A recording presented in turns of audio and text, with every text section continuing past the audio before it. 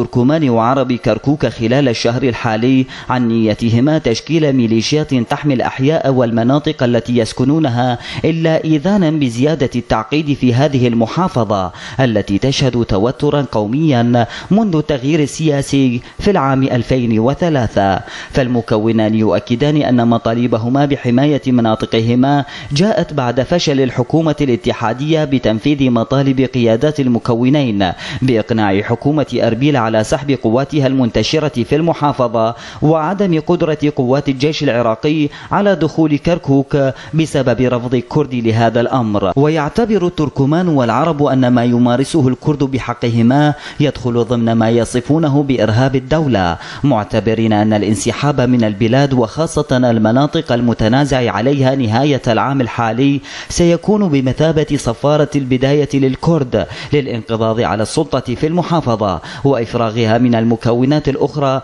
وربما إلحاقها بإقليم كردستان العراق. فالحلول السياسية والأمنية التي دأبت الحكومات المتعاقبة في العراق على وضعها لتسوية قضية كركوك لم تأتي بأي نتيجة. كذلك الحلول المؤقتة التي طرحتها واشنطن لتسوية الوضع في المحافظة التي باتت تمثل قضية وجود بالنسبة لحكومة إقليم كردستان وكذلك بالنسبة للحكومة المركزية التي ترفض إعطاء أي تنازلات للكرد مهما كانت علاقاتها وثيقة معهم. وقد تكون الأزمة الأخيرة بين بغداد وأربيل على خلفية عدم تنفيذ اتفاقات أربيل وخصوصا ما يتعلق بالمادة 140 دليلا واضحا على عدم قدرة الطرفين على تقديم تنازلات.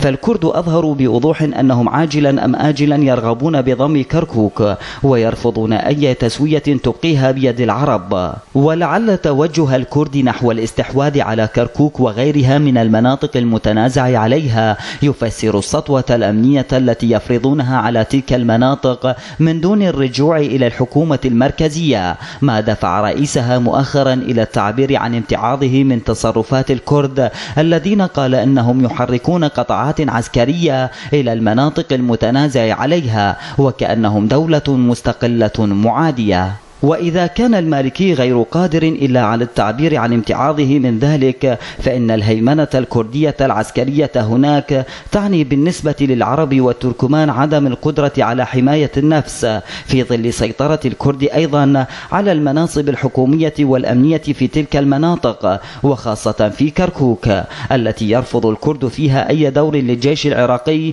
ما عدا في مناطق جنوب غرب المحافظة حيث الانتشار العربي الأوسع. وفي المحصلة فإن الأوضاع في كركوك وباقي المناطق المتنازع عليها سائرة باتجاه التصعيد بعد فشل جميع الحلول لإيجاد تسوية تضمن إيجاد إدارات مشتركة لهذه المناطق التي يتخوف مراقبون من أن يؤول الحل فيها إلى استخدام السلاح. إذ يؤكدون أن هذا السيناريو حقيقة تتجلى أكثر فأكثر كل ما اقترب موعد مغادرة القوات الأمريكية.